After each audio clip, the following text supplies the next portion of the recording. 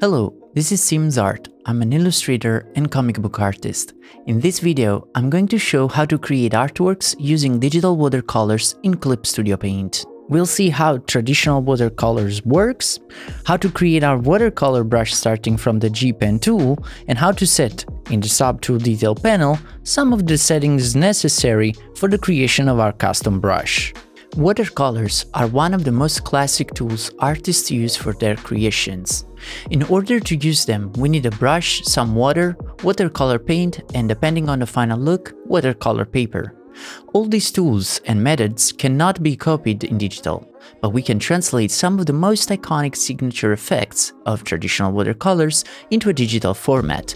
That's why I'll refer to this process and tools as digital watercolors and not faux watercolors. In order to start working toward the creation of our watercolor brush, we need to look at what we are going trying to emulate.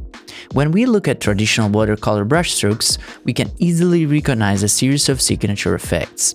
The first one is its irregularity, especially toward the end, in shape. The second is the subtle edge that each brushstroke has.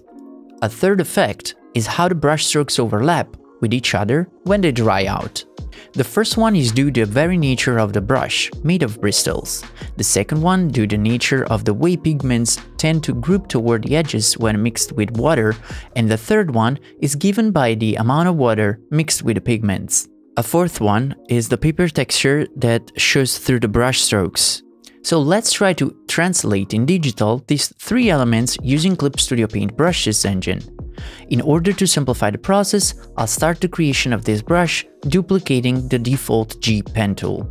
I want to mention that Clip Studio Paint has watercolor brushes by default, but in this video, I want to make one from scratch.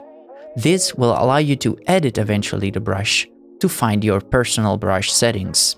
You will also find the complete list of settings I'm gonna use in the description of the video.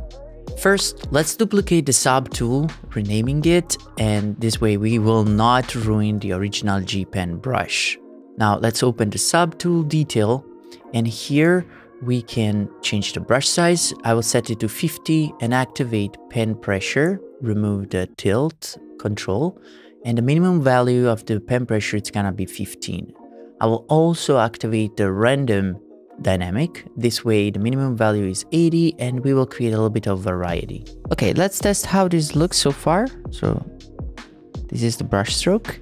And as you can see, it has a little bit of variety. We can change these values as much as we want. If we turn off pen pressure, for example, we will have a one size type of brush.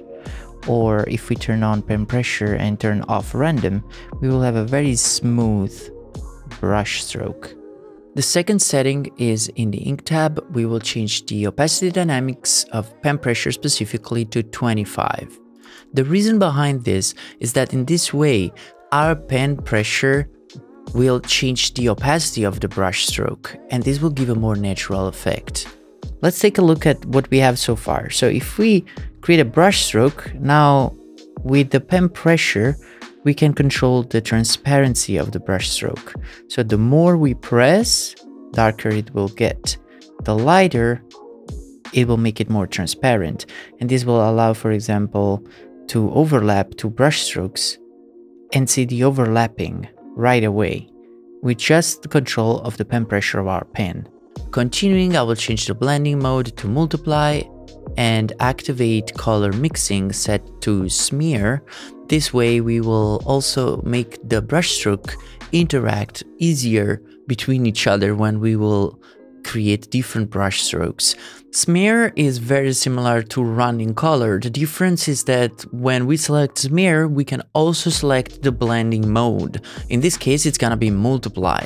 This way, the different brush strokes will interact using the blending mode, but adding a mixing that allows for a more realistic watercolor look. If we use running color instead, we could only use normal as a blending mode, which is the default one, and we should only play with the density of paint, which is something that it's more similar to gouache or oil paint. With this setting enabled, we reached the end of this first video. In the next video, we'll keep adding more effects in the Subtool detail panel to complete our first custom watercolor brush. I hope you find this information useful, and as always, don't forget to leave a like and subscribe. See you next time. If you like this video, you can find more about my work on Instagram, Twitter, and YouTube. See you next time.